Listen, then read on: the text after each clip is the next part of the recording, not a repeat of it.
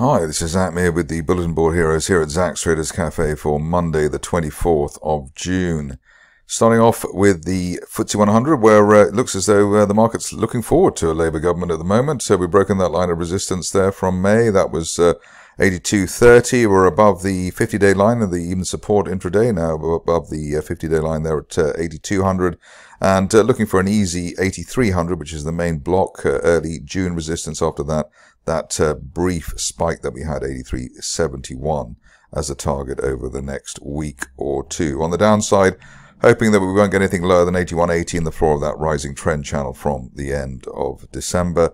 But the uh, sizzle here, the way that uh, there's been an RSI bounce off neutral 50, it's currently at 54, uh, which is actually normally a leading indicator on the upside. So uh, looking about as good as the FTSE could be given the uh, lay of the land. Moving on to the DAX, and uh, here trying to get back above that 50-day line, uh, 50-day line there, 18,300. That's actually starting to rise again, which is uh, good news. And uh, end of day close above that, we're looking at the highs again, hopefully by the end of next month or even sooner, so towards 18,900. We can also adjust perhaps the rising trend channel that we had there from back in October and uh, look for the uh, market to hit the top of that rising trend channel from back uh, in the autumn, which is probably more in that trajectory I'm drawing at the moment, so towards 19,700 by the end of next month. But the key here, getting an end of day close back above that rising 50 day line. On the downside, uh, hoping that won't be anything lower than May support, 17,900 or so. Moving on to the Dow, and uh, here the situation is that uh, we're well above the 50-day uh, line. That's now rising, which is a positive, and uh, we managed to close above recent resistance, uh, June resistance, early June resistance, 39,100 above that. Obviously, we're looking for 40,000 record highs. Big picture target, maybe by the end of next month, if we're really lucky, would be up to the top of that rising trend channel from back in uh, July last year. 41,600. On the downside, ideally we stay on the right side of 38,000. RSI at 56, which is also a plus and is a, normally a leading indicator on the upside. Moving on to Bitcoin, which is not looking so good. Uh, here you can see that uh, we've broken down uh, below the floor of that rising uh, trend channel from back in November. Also well below the 50-day line, 66,500, and we risk a move down to the 200-day moving average in the floor of that uh, falling trend channel from the uh, beginning of March. Uh, that was, uh, or that is heading or pointing to 57,000. So uh, RSI also at, uh, well, near the oversold level, but uh, not quite there. So that suggests that there is a day or two more of downside, even if we manage to recover after that. The recovery signal here would be really an end of day close back above that 50 day line. If you're really fussy or really aggressive, then 65,000 may work for you as well onto gold. And uh, here, the uh, worst case scenario of uh, heading down to 2280 so far hasn't happened. We've had a nasty bull trap through the 50 day line and uh, through that resistance line there from May. Uh, the, the area there, 22, uh, 2360 rather, and the risk now still of a test of 2280, the May support, even if we bounce back again after that. RSI at 46 are also suggesting that uh, we've got a bit of a down move to come. Multiple failures in the low 50s for the RSI, which uh, tends to be actually one of the more negative setups that, that you can have. Moving along to the stocks and starting off again with uh, Avacta, where uh, somebody given the credit for the shares going up, so maybe they can take the credit for the shares going down. What we don't want to see today is an end of day close back below the 50 day moving average at 44 pence, because that would cancel out the prospect of a move to the top of that broadening triangle from April up to 53 pence. Obviously, uh, the main problem here is that below the 50 day line, there's a risk of another test of the sub 40 pence area. RSI still just about above 50. That's just under 52. So we really need that combination of RSI 50 plus and the shares above the 50 day line, which they're trying to do as I speak. On to Aptamer, which uh, I believe had some news uh, today as well. But uh, here we've got a rising trend channel base, rising 50 day line as well. We gapped up twice back in April, so that does suggest a turnaround. And uh, even though it's a bit of a, a gappy stock, gapped up again today. So the view here is that above the floor of the channel there, 0.65, could head as high as 1.07 pence at the top of that channel maybe as soon as the end of next month. Uh, an easier chart maybe to look at is Anglo-Asian, where uh, we're breaking out through uh, recent May resistance, so four and a quarter pence above that, looking for up to 93 pence by the end of next month. We've got the 50 and 200 day lines both rising sharply, and uh, that does suggest that we have the prospect of a move up towards the 90 pence area and obviously the old November resistance in the meantime up to 82 pence. This stage only back below the initial June peak, 69 pence would really question the breakout scenario. On to Belluscura, which raised a few pennies today, or said it had. Uh, here we've got this uh, U-shaped rebound, rising 50-day line as well.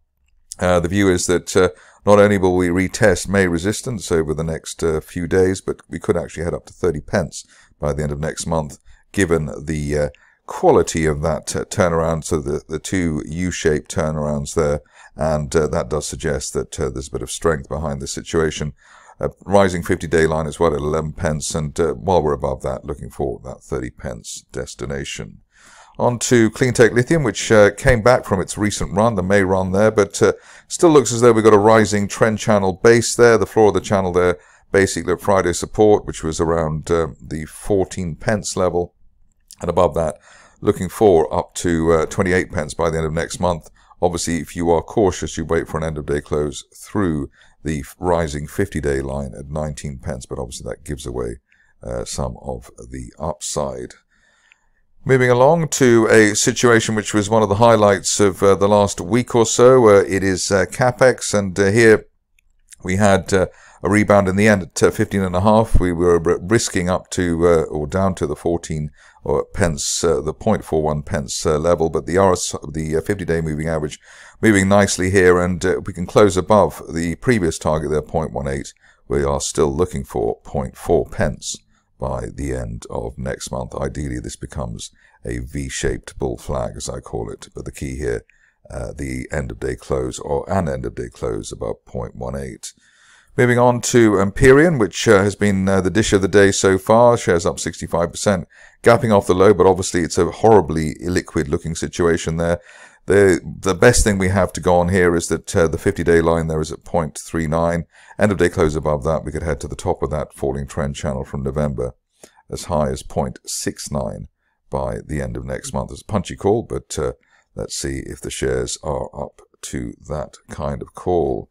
We looked at uh, Ethernity quite recently, and uh, it looks as though the shares are still trying to break out of the uh, falling wedge situation that uh, they've been in since uh, the end of the year. We want to see an end of day close above the 50 day line, which hopefully we'll get today after two failures last week. That's at 0.77. Above that, looking for up to 1.4 pence by the end of next month, and obviously expecting something quite explosive, maybe something a bit like what we saw in April or back in December for the shares. On to Graft Polymer, where uh, the suspicions that they were, the shares were ready to turn around after um, the uh, decent rally they had um, over the course of um, uh, May. Uh, it looks as though we are reviving ourselves for a potential move to the upside. Uh, bounce off or bounce above the rising 50-day line there at 0.31.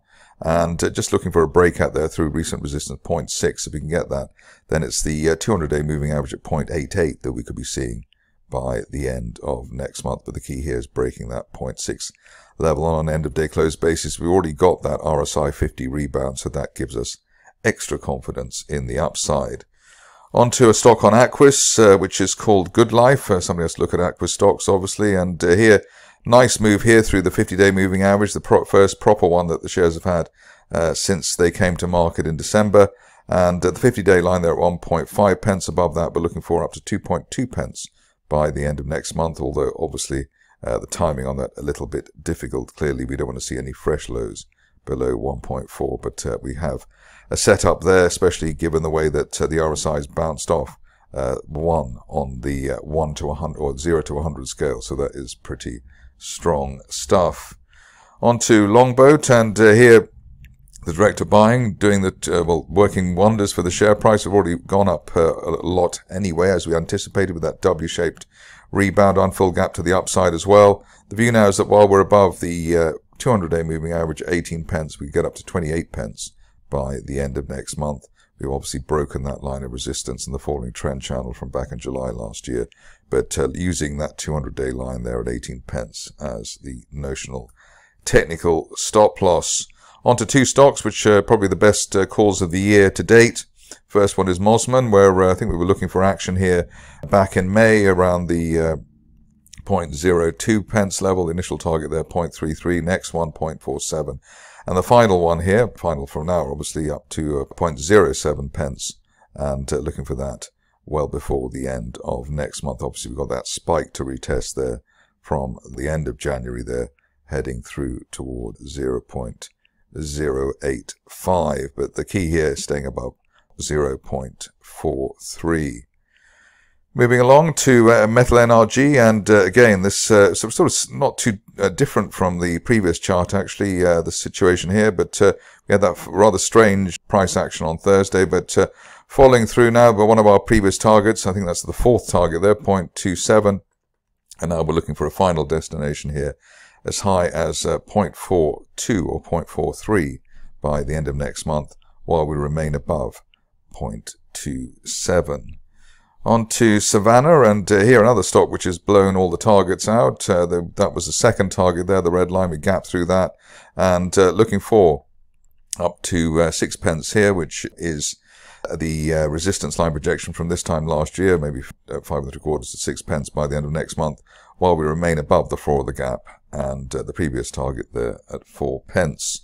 Uh, awful chart to uh, look at next, uh, which is TinyBuild, but obviously take it with a pinch of salt. Uh, rising trend channel base here from the shares and gaps up and gaps down, but we gap through the falling 50-day line today. Floor of the channel there around 5 pence above that. We're looking for 8 pence by the end of next month, but obviously uh, one can see that that's not exactly the most liquid stock on the market.